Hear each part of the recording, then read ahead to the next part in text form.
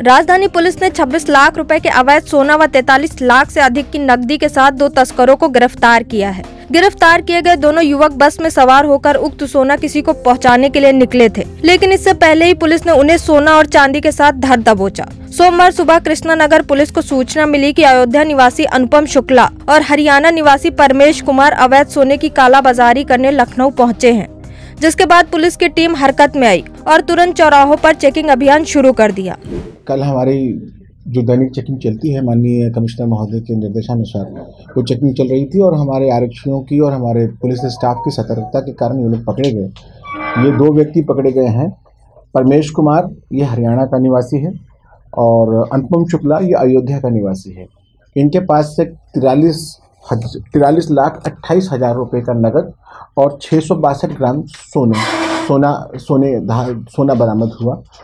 तो इनको वहाँ से हमने फर्दर रिकवरी बनाते हुए अपने थाने पर लाकर पूछताछ की और इस संदर्भ में पूछताछ जारी है। हम इनके जो विभिन्न कार्य व्यापार हैं, इनकी मॉडल सर्वेली किया है, ये क्या करते हैं, इस बारे में जानकारी कर रहे हैं और साथ ही हम इनकम टैक्स डिपार्टमेंट को भी सूचित कर रहे हैं कि इतनी अधिक मात्रा में नकदी इनके पास है ताकि वो अग्रिम विधिक कार्रवाई को अमल में लाएँ। ये लोग बताए कि इनके पास ये इतना नकदी कहाँ से आया कितना सोना अभी फ़िलहाल इन लोग का ये कहना है कि ये टैक्स चोरी के पॉइंट ऑफ़ व्यू से सोने का अवैध कारोबार करते हैं लाते हैं और फिर उसको देते हैं और वहाँ से कैश ले लेते हैं। कहीं कहीं ये चेन लाते हैं जैसे कि ये इसमें जो परमेश है वो चेन लेके आया और चेन दी और उसके बदले सोना ले लिया। मतलब बनी बनाई चेन दे करके सोना ले लिया। तो इस प्रकार से इन लोग की क्रियाविधि है और ये कहते हैं कि महीने में हम इस प्रकार से इस सब एक सोने को दूसरी जगह पहुंचाते हैं धन को दूसरी जगह और तीन से चार बार।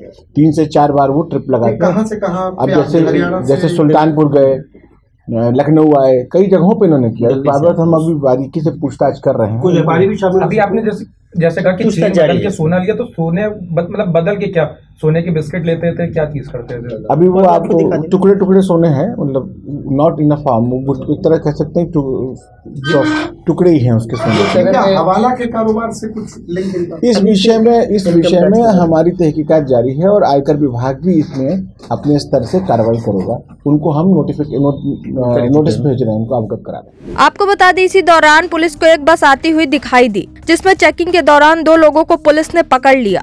उनके पास से पुलिस ने भारी मात्रा में सोना और लाखों की नकदी भी बरामद की। पुलिस ने जब दोनों से पूछताछ की तो उन्होंने अपने नामों का खुलासा किया और ये भी बताया कि वह पिछले कई वर्षों से सोने की कालाबाजारी में लिप्त हैं। पुलिस ने दोनों के पास से 642 ग्राम सोना बरामद किया, जिसकी कीमत करीब 26 लाख रुपए बताई जा रही है। शुरुआती जाँच में खुलासा हुआ है कि ये लोग सोने के इस अवैध कारोबार के ज़रिए टैक्स चोरी कर सरकार को चूना लगा रहे थे। Bureau report, Satyoday media.